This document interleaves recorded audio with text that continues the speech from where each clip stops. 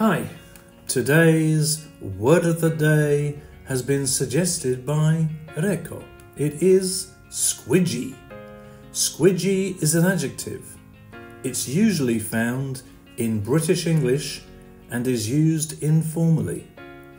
The comparative form is squidgier and the superlative is the squidgiest. If something is squidgy, it's soft and can be squashed easily. Squidgy first appeared in English in 1847 and came from the word squishy. Some example sentences are Be careful not to drop the groceries. Those tomatoes are really squidgy. The squidgy centre of the pudding was the best part.